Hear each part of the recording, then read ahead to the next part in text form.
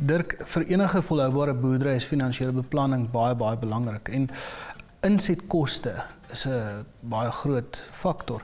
Saad maak natuurlik 'n groot deel hiervan uit. So hoe belangrik is dit om seker te maak dat die saad wat jy plant die regte saad is?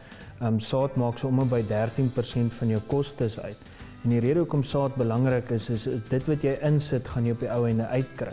So as jou saad nie ontkiem nie of dit kom nie op nie, dan het dit 'n groot effek op die einde van die dag aan jou aan jou uitkomste aan, aan jou inkomste se kant aan die aan die einde van die van jou produksie.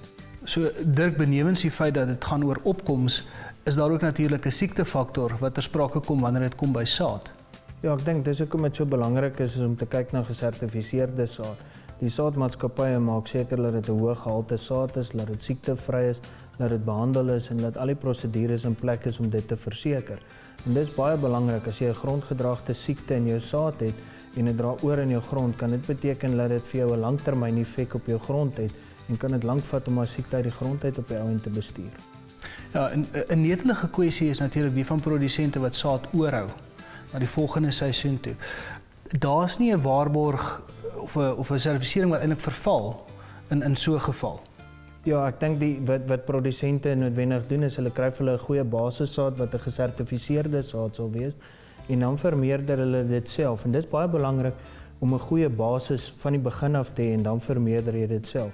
Maar dit het natuurlik ook 'n effek dat saadmaatskappye nie meer wil investeer nie want hulle investeer een keer in tegnologie en dan word dit outomaties vermeerder. En daaroor het, is daar nou 'n tegnologie teeling en tegnologie heffing wat ons in plek gesit het waar ons weer die saadmaatskappye vergoed vir daai investering in tegnologie. En as ons lanktermyn gaan kyk, is ons is ons regtig agter in in 'n in 'n gewas so sojabone is ons baie agter in terme van nuwe tegnologie.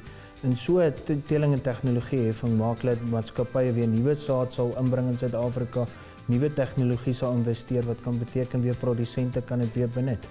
So dis 'n dis 'n nuwe ontsluiting van nuwe tegnologie.